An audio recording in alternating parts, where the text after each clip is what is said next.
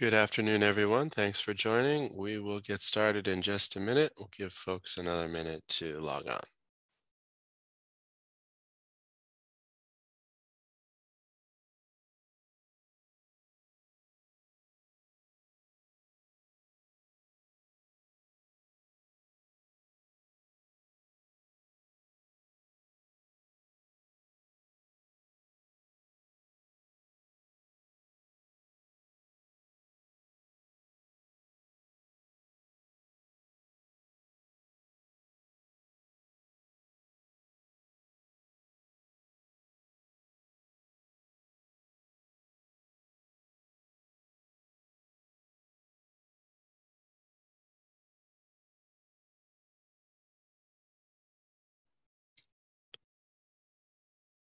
Good afternoon, everyone. Thank you for joining this important webinar today. I am Jose Soegaard, uh, Deputy Director for the Office of Nightlife.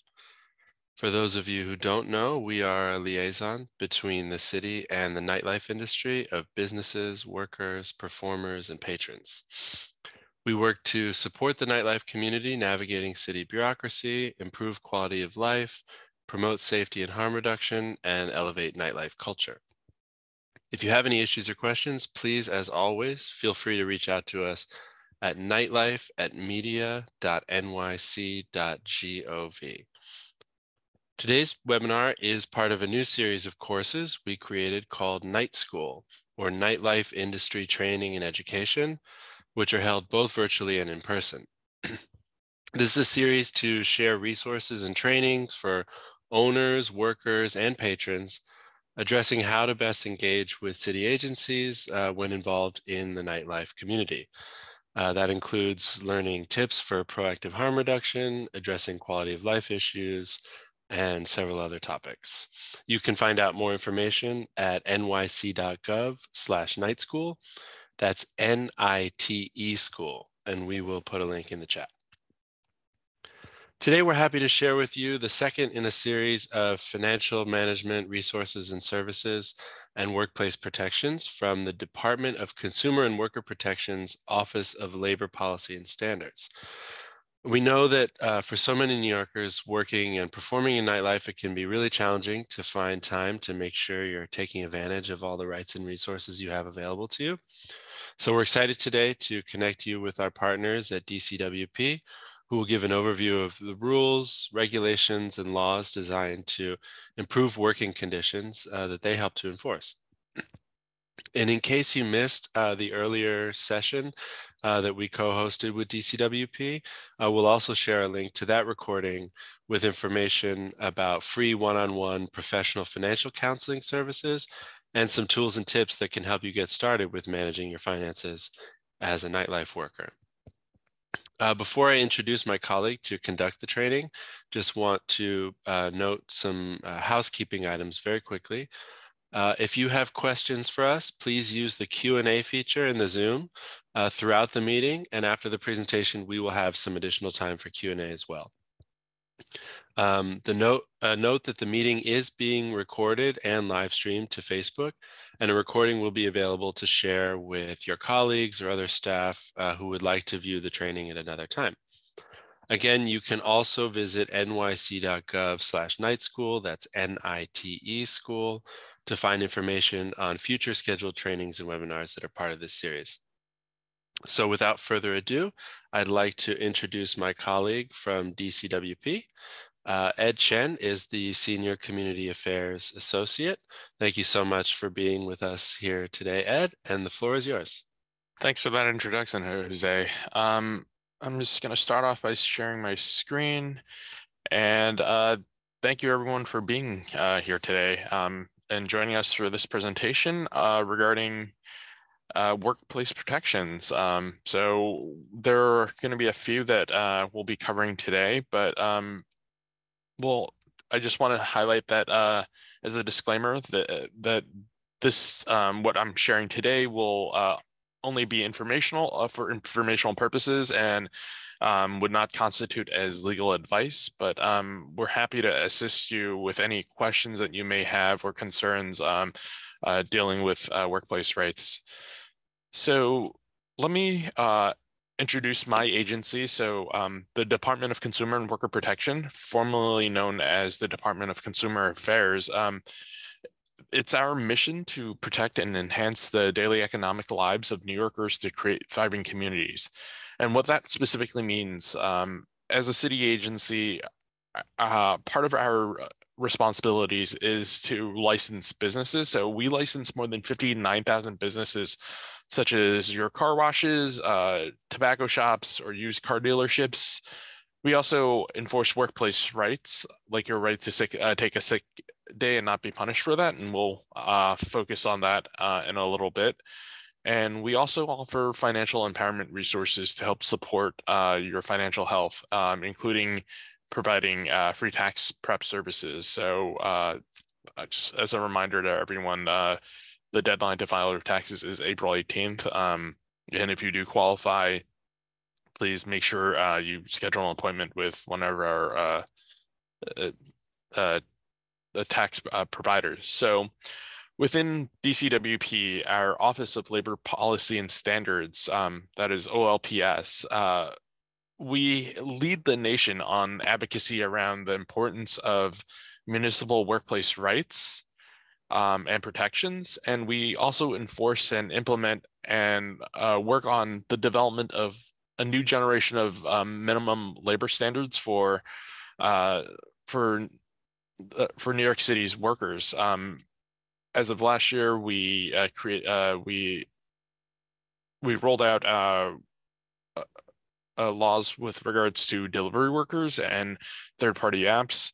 So there are a number of different workplace laws that we work on as well. So we also dedicate, we are a dedicated voice in city government for workers in New York City, and we protect and promote these labor standards and policies that create fairer workplaces to ensure that all workers can realize their uh, their rights regardless of their immigration status.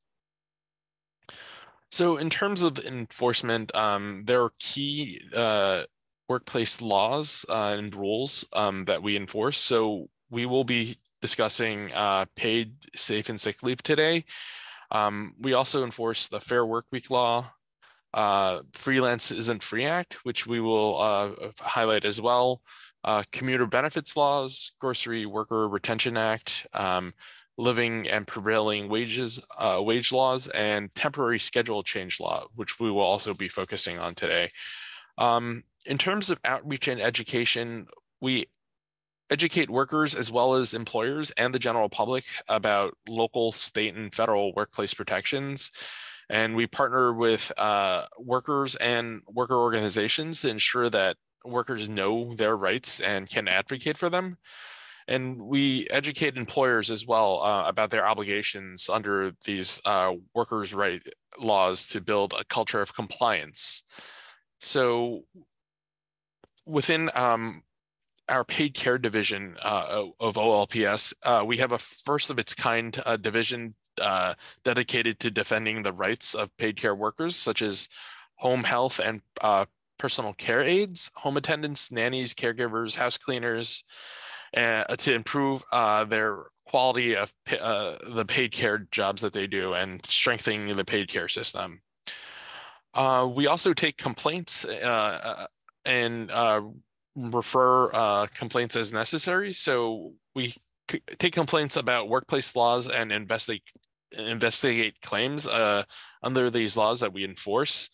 So, such as the paid safe and sick leave law, um, for other issues, we connect workers to relevant government agencies, uh, legal service providers, and resources to help them uh, access and protect their rights uh, and and get the critical services that they would need.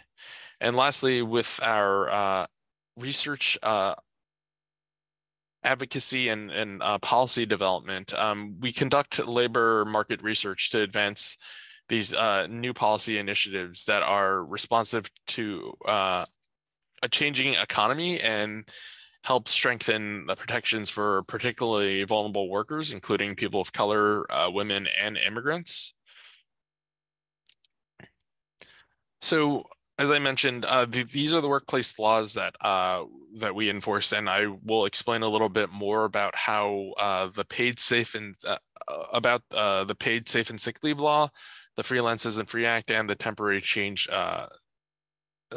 temporary schedule change law. So, with regards to paid safe and sick leave, um, so if you are a part-time or full-time worker at a business of any size or nonprofit uh, in New York City, or, or um, you work in a New York City home uh, as a domestic worker, you have the right to safe and sick leave to take care for yourself or anyone that you would consider a family.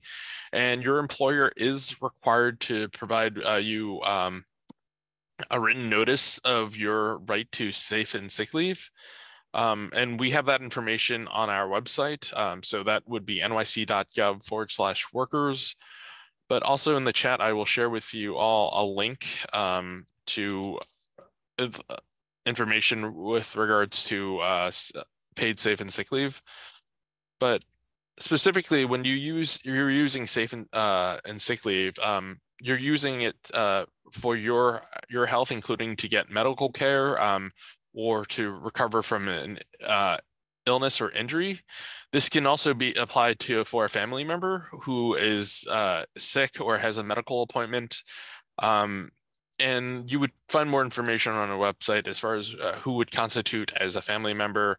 But um, you would, could also apply uh, this uh, leave to uh, your job or your your child's school uh, as it closes due to a public health emergency and you you can utilize this uh, for uh, your safety or the safety of a family member uh, as it relates to uh, domestic violence, un- unwanted sexual contact, uh, stalking, or human trafficking. Um, and the amount of uh, safe and sick leave that's available to you can vary depending on the number of employees employed by this employer or the um, employer's annual income um, so here on this table, um, if you work for an employer and there's uh, the total number of uh, employees employed by this employer is one through four, and the employer's annual income uh, is less than a million dollars, you would be allowed uh, up to 40 hours of unpaid leave. However, that changes if the employer's income is uh, over uh, a million dollar or, or more where that changes to uh, up to 40 hours of paid leave. Um, and if an uh, employer is uh, the number of employees uh, uh, or would be five or more, or if you are uh, in a, dom- a, domestic worker, for example, then you would also receive up to 40 hours of paid leave. And if the number of employees that's employed by this employer is over 100, then uh, that uh, the amount of paid leave per calendar year would be increased up to uh, 56 hours as opposed to 40 hours.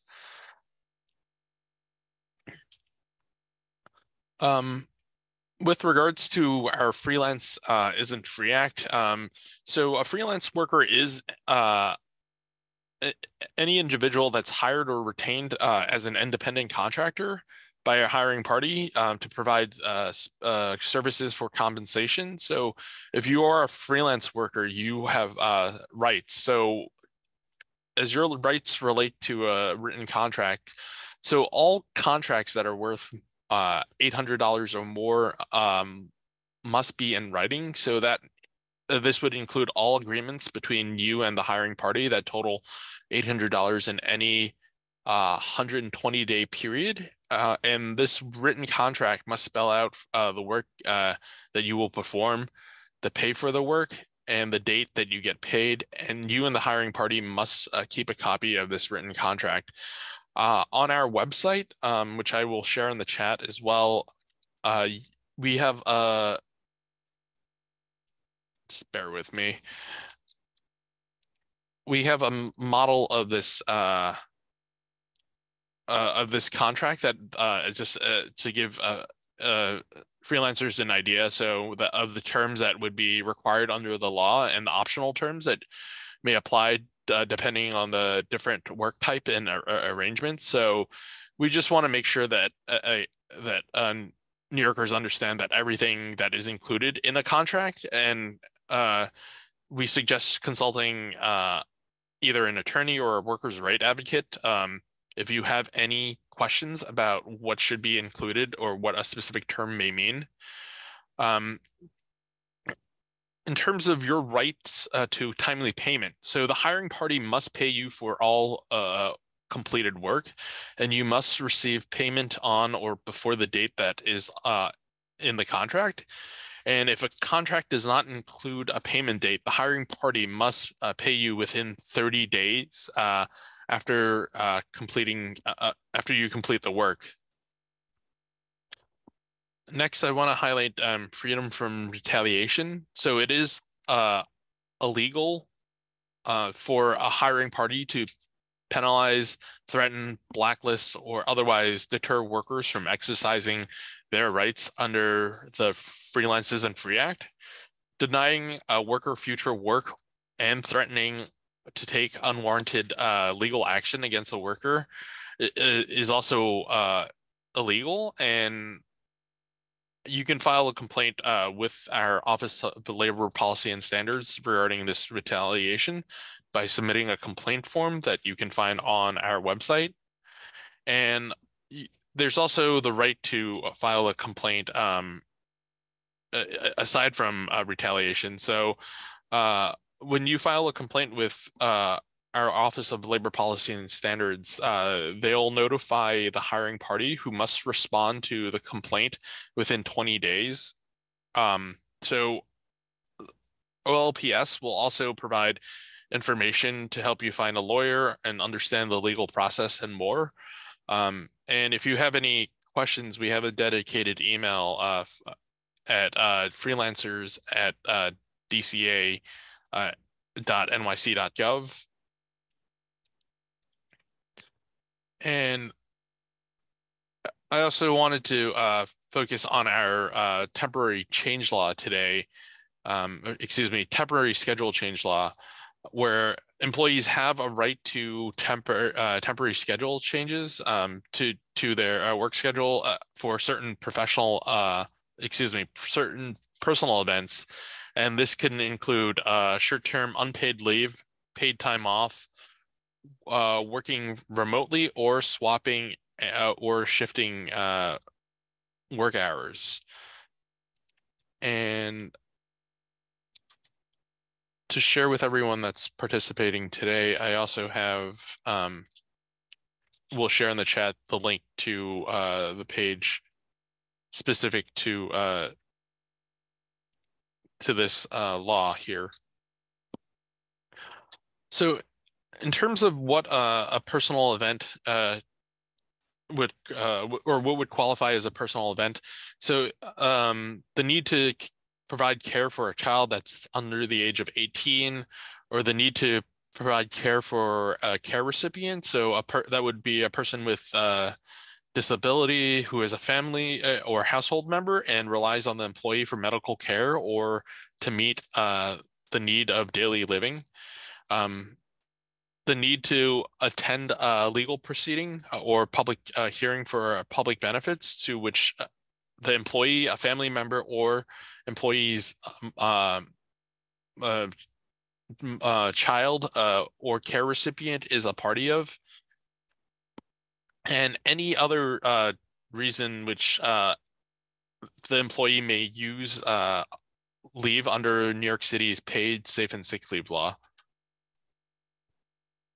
So when requesting a schedule change, you can request two changes annually to accommodate a personal event. Or you can request uh, two separate changes, uh, each totaling one business day, or one change for up to two business days. And in terms of the types of uh, temporary changes, um, you can propose the type of change, uh, temporary change you would like. Um, your employer must approve uh, your proposal or provide uh, pay without leave. So your I also want to note that your employer may not require you to use leave under uh, New York City's paid safe and sick leave law for a temporary schedule change. Um, and your employer may offer you the choice to use uh, paid time off as well. So uh, those are just uh, a, a, an overview of the laws that uh, the Department of Consumer and Worker Protection uh, um, provides with regards to workers. Um, so if you have any uh, questions, you can re definitely reach out to us at 311 um, or highlight, uh, uh, or if you have any concerns or, or need further details, um, I would suggest visiting the web pages that I shared uh, as it relates to paid safe and sick leave, uh, the Freelance Isn't Free Act, and the temporary schedule change laws. Um, for uh, you can also email our uh, Office of Labor Policy and Standards as well uh, if you have any specific concerns or complaints um, that you may want to address. Um, so I'm just going to stop sharing here and we're happy to take any questions that uh, folks may have as it relates to um, any of the laws that I mentioned today.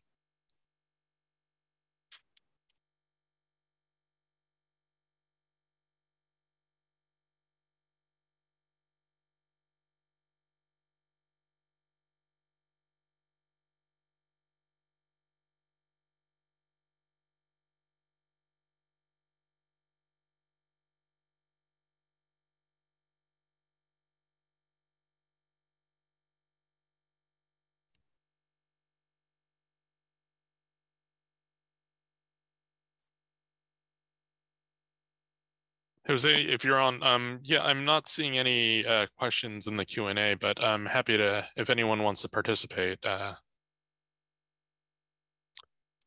Yeah, thanks, Ed. Um, no, I'm not seeing any questions myself. I'm just wondering if you can reiterate um, if there's just a sort of single landing place or um, hmm. contact uh, where folks can reach out to if they have questions or um, you know, need additional guidance or anything like that? So I'm sharing in the chat. So uh, nyc.gov forward slash workers is our general landing page for all the uh, laws um, that we cover here at DCWP. Um, and there's also additional resources for workers as well, um, should there be uh, any question arise.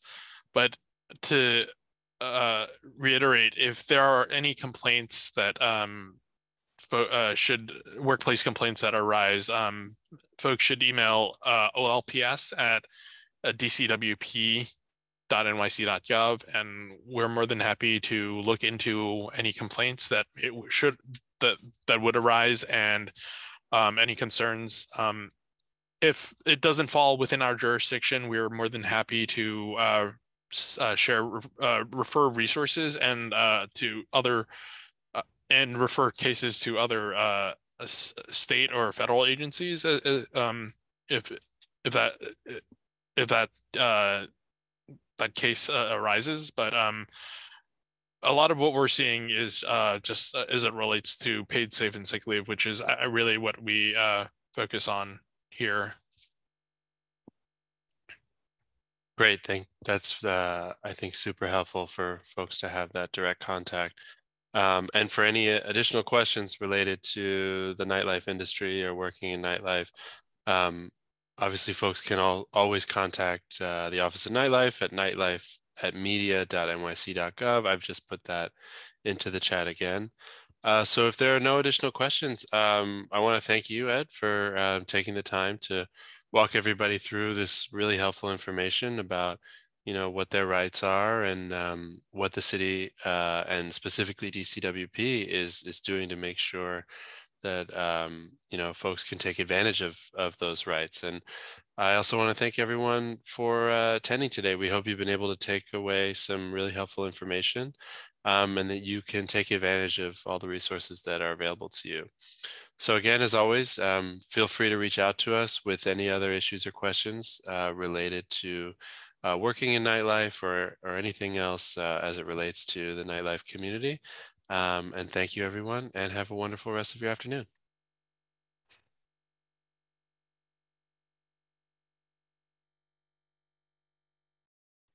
And we'll leave the chat up for just another minute so folks can um, pull down um, any of those links or, or contact info as well. So thank you.